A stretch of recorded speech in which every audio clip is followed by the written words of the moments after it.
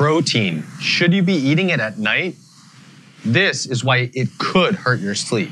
Hi, I'm Dr. Chris Masterjohn of chrismasterjohnphd.com, and this is Chris Masterjohn Light, where the name of the game is details, schmetails, just tell me what works. And today we're gonna talk about should you be eating protein at night? So here's the deal. When you go to sleep, the difference between sleepfulness and wakefulness in your brain is basically two things. In the last episode, I talked about how acetylcholine levels are low except in REM sleep.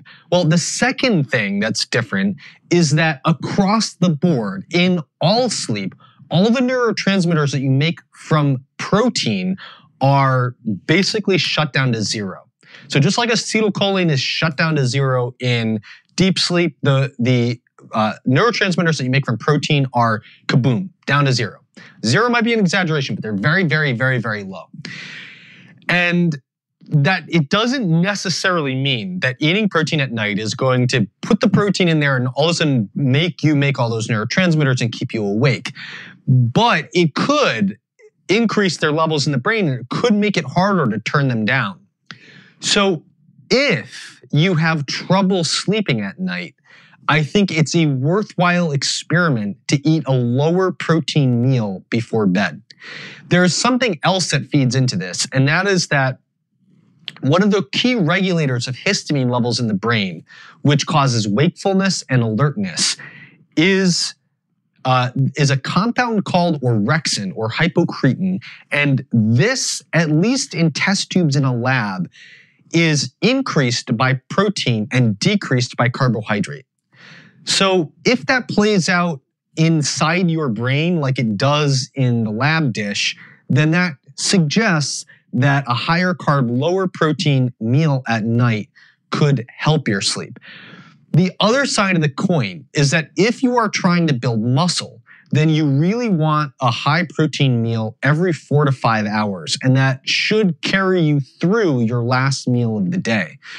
So if you don't have sleeping problems and you are trying to build muscle, then I would recommend that you eat a high protein meal for your last meal of the day.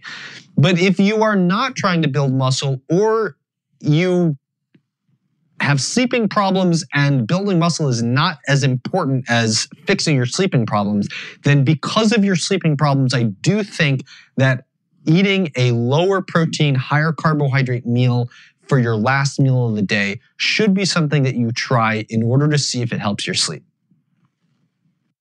This episode is brought to you by Ancestral Supplements Grass Fed Beef Brain. Our Native American ancestors believed that eating the organs from a healthy animal would support the health of the corresponding organ of the individual. Ancestral Supplements has a nose to tail product line of grass fed liver, organs, bone marrow, brain, and more, all in the convenience of a capsule. For more information or to buy any of their products, go to ancestralsupplements.com. This episode is brought to you by Ample. Ample is a meal in a bottle that takes a total of two minutes to prepare, consume, and clean up. It provides a balance of fat, protein, and carbs, plus all the vitamins and minerals you need in a single meal, all from a blend of natural ingredients. It's available in original, vegan, and keto versions, portioned as either 400 or 600 calories per meal. I'm an advisor to Ample and I use it to save time when I'm working on major projects on a tight schedule. It keeps my brain going while I power through the day, never letting food prep get in the way of my productivity. Head to amplemeal.com and enter the promo code CHRIS15 at checkout for a 15% discount off your first order. The audio of this episode was enhanced and post processed by Bob Devodian of Torian Mixing. You can find more of his work at torianonlinemixing.com. For ad free versions of these episodes with transcripts that you can read and getting early access to the episodes, often weeks or maybe even months ahead of time, you can sign up for the CMJ Masterpass at chrismasterjohnphd.com slash masterpass and use the code LIGHT10 to get 10% lifetime discount. All right, I hope you found this useful. Signing off, this is Chris Masterjohn of chrismasterjohnphd.com. This has been Chris Masterjohn Light, and I will see you in the next episode.